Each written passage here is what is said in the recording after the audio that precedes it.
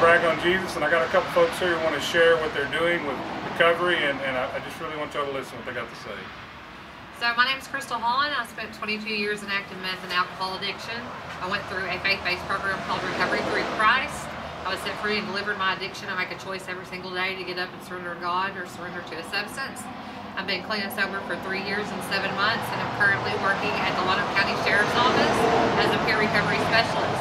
So I encourage anyone to reach out if you need any resources that are recovery related in the Lonoke County area. I am your go-to person. My phone number is 501-438-3958. My name is Michael Springer. I'm a peer recovery specialist. I work at the Lonoke County Sheriff's Office.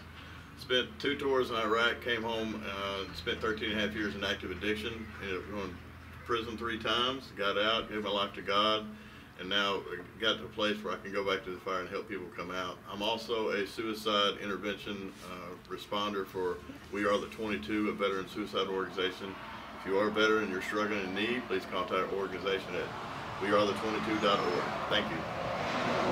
Thank you guys. You got a chance to try again, chance to live right, chance to go fishing anytime you like. You can chase your dreams wherever they go and follow your heart down any dirt road. You got a chance to dance, a chance to roam, a chance to fall in love with a woman back home. Boy, you got something some other men don't have.